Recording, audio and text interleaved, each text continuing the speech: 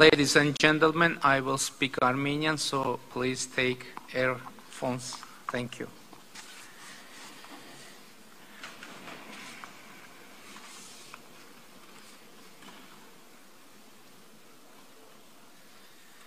Հարգելի վարչապետներ, համաժողովի հարգելի մասնակիցներ, տիկնայք եւ պարոնայք։ Ինձ համար մեծ պատիվ է մասնակցել Թբիլիսիի Մետաքսի ճանապարհ համաժողովին, որն անցկացվում է արդեն 4-րդ անգամ եւ մաս կազմել այս կարևոր քննարկմանը։ Ցանկանում եմ երախտագիտությունս հայտնել Վրաստանի կառավարությանը եւ անձամբ վարչապետ Ղարիբաշվիլիին այս համաժողովն անցկացնելու կարևոր նախաձեռնության եւ ջերմ հյուրընկալության համար։ Մետաքսի ճանապարհ արտահայտությունը բոլորիս հայտնի է դեռևս դպրոցական դասագրքերից։ Շատերը համոզված եմ, շատ մանրամասներ չեն հիշում Մետաքսի ճանապարհի ժամանակների պատմական անցքերի եւ իրադարձությունների մասին։ Բայց Մետաքսի ճանապարհ պատմական տերմինը բոլորիս մտքում ասոցացվում է բարեկեցության, խաղաղության, զարգացման, համագործակցության հետ, որովհետև Մետաքսի ճանապարհը անցնում էր բազմաթիվ երկրներով ու բնակավայրերով, եւ այդ ճանապարհները մարդկային մշակութային, տնտեսական ու քաղաքական կապեր ստեղծելու, ժողովուրդների, երկրների իրար ավելի լավ ճանաչելու միջոց էին։ Այդ ճանապարհներով մարդիկ ոչ միայն ապրանքներ էին փոխանդրում, այլև պատմություններ, սովորույթներ, ավանդույթներ, գիտելիքներ, հմտություններ։ Ճանապարհը ոչ միայն երկրներ ու քաղաքներ է միմյանց կապում, այլև մարդկանց եւ հետեւաբար եթե բանուկ ակտիվ ճանապարհը համագործակցության, խաղաղության, հաջողության նշան է, փակ ճանապարհները վկայում են խնդիրների մասին։ Մենք սա գիտենք սեփական օրինակով։ Մեր 4 հարևաններից երկուսի հետ մեր ճանապարհները բաց են, ինչը վկայում է նրանց հետ մեր ունեցած հարաբերությունների բարեկամական լինելու մասին։ Մեր հարևաններից երկուսի հետ մեր ճանապարհները փակ են, ինչը հարաբերություններում արկա բարդությունների շատ խոսուն վկայություն է։ Բայց այսօր չեմ եկել պատմելու մեր ունեցած բարդ հարաբերությունների մասին, այլ ուզում եմ ասել, որ առանց ճանապարհների շատ դժվար կլինի կառուցել խաղաղություն։ Ակնհայտ է, որ մեր տարածաշրջանը, Հարավային Կովկասը ունի հաստատուն խաղաղության կարիք։ Իսկ ինչ է խաղաղությունը։ Դա մի վիճակ է, երբ երկրները ապրում են բաց սահմաններով, տնտեսական, քաղաքական, մշակութային, մարդկային ակտիվ կապերով կապված, բոլոր հարցերը դիվանագիտական եղանակով եւ երկխոսությամբ լուծելու փորձ եւ ավանդույթ կൂട്ടակած։ Սա իրական խաղաղությունը եւ ինչպես տեսնում եք, այդ ամենը, այսինքն բաց սահմանները, տնտեսական, քաղաքական, մշակութային կապերը հնարավոր չեն առանց ճանապարհների։ Այս է պատճառը, որ մեր կառավարությունը մշակել եւ ներկայացնում է խաղաղության խաչմերուկ նախագիծը որպես խաղաղության օրակարգի կարևոր մի մաս։ Այդ նախագծի առանցքային իմաստը Հայաստանի, Թուրքիայի, Ադրբեջանի, Իրանի Իսլամական Հանրապետության միջև կոմունիկացիաների զարգացումն է, ճանապարհներ, երկաթուղիներ, խողովակաշարեր, մալուխներ, էլեկտրահաղորդման գծեր նորոգելու, կառուցելու, գործարկելու միջոցով։ Հայաստանի հարավով եւ հյուսիսով անցնող ճանապարհները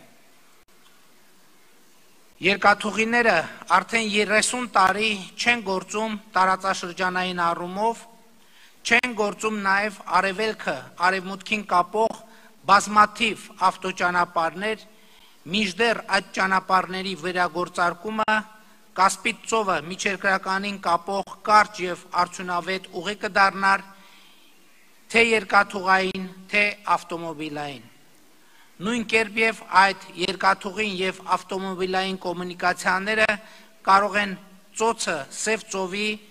այդ թվում վրացական նավահանգիստներին կապող արդյունավետ ճանապարհ դառնալ։ Այս ծրագիրը հսկայական օգուտներ կբերի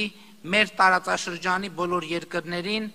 եւ ես ցանկանում եմ կառավարությունների մասնավոր ներդրողների ուշադրությունը հրավիրել այս հնարավորության վրա։ Իմ թիմի ներկայացուցիչները ելույթից հետո միջոցառման ընթացքում համաժողովի մասնակիցներին, նրանք ովքեր հետաքրքրված են, կբաժանեն մեր նախածգծի մասին պատմող բրոշյուրներ եւ ուրախ կլինենք արձագանքներ եւ լսել եւ աջակցություն ստանալ նախագիծը իրականացնելու ճանապարհին։ Ամբողջական լինելու համար կարևոր եմ համարում ընդգծել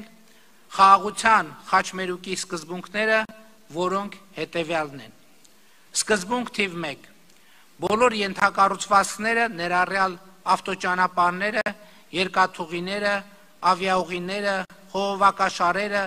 մալուխները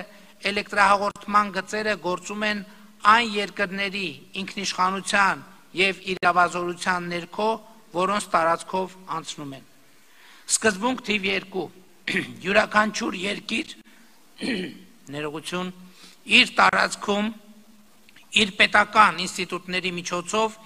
իրականացնում է սահմանային եւ մաքսային հսկողություն, ինչպես նաեւ ապահովում է ենթակառուցվածքների ներառյալ դրանցով բեռների, տրանսպորտային միջոցների, մարդկանց անցման անվտանգությունը։ Իդեպ առաջիկայում Հայաստանի իրավապահ համակարգում կստեղծվի հատուկ ստորաբաժանում, որի գործառույթը կլինի Հայաստանով անցնող միջազգային կոմունիկացիաների, դրանցով բեռների, տրանսպորտային միջոցների, մարդկանց անցման անվտանգության ապահովումը իհարկե մեր բարեկային ոստիկանության հետ համատեղ։ Սկզբունք թիվ 3 նշված ենթակառուցվածքները կարող են օգտագործվել ինչպես միջազգային, այնպես էլ ներքին փոխադրումների համար։ Սկզբունք թիվ 4 բոլոր երկրները միմյանց ենթակառուցվածքներից ներողություն եմ խնդրում օգտվում են հավասարության եւ փոխադարձության սկզբունքով։ Հավասարության եւ փոխադարձության սկզբունքով կարող է իրականացվել սահմանային եւ մաքսային հսկողության ընթացակարգերի որոշակի բարձեցումներ։ Ուզում եմ վերահաստատել այս սկզբունքների հիման վրա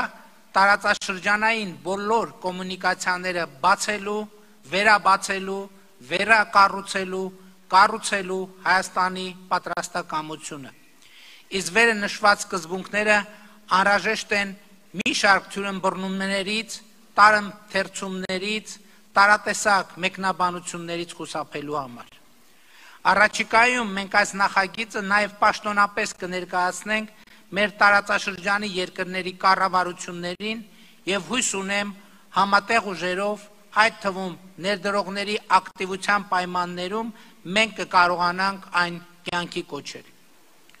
Հարգելի ներկաներ, ինչպես ասացի, խաղաղության խաչմերուկը խաղաղության օրակարգի անբաժան մասն է։ Մենք հիմա աշխատում ենք Ադրբեջանի հետ խաղաղության եւ հարաբերությունների կարգավորման պայմանագրի նախագծի վրա եւ հույս ունեմ այս գործընթացը հաջողությամբ կավարտվի մոտակա ամիսներին։ Հարկ եմ համարում ներկայացնել նաև խաղաղության մյուս երկու կարևոր սկզբունքները, որոնց շուրջ համաձայնություն ենք ձեռք բերել Ադրբեջանի հետ։ Հայաստանը եւ Ադրբեջանը փոխադարձաբար ճանաչում են միմյանց տարածքային ամբողջականությունը այն ընկալմամբ, որ Հայաստանի տարածքը 29800 քառակուսի կիլոմետր է, Ադրբեջանի տարածքը 86600 Այս հարագիտարանային արձանագրումն արվել է,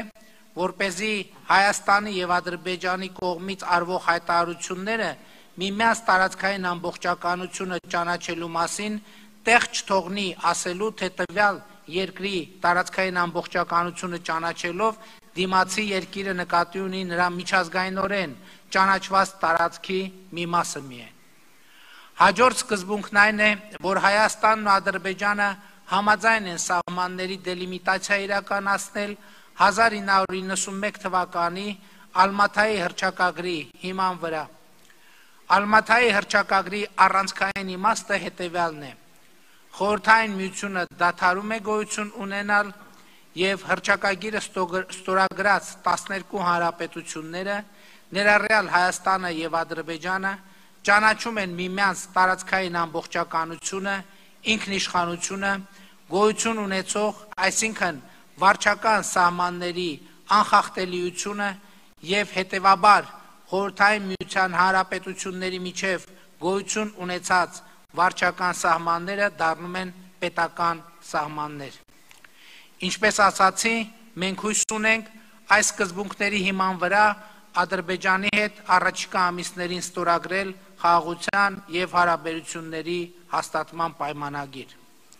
Հույս ունեմ առաջիկայում նաեւ զարգացումներ կլինեն Հայաստանի եւ Թուրքիայի միջև սահմանը երրորդ երկրների քաղաքացիների եւ դիվանագիտական անznագիր կրողների համար բացման ուղղությամբ, որը նույնպես դրական ազդակ կբերի ամբողջ տարածաշրջանին։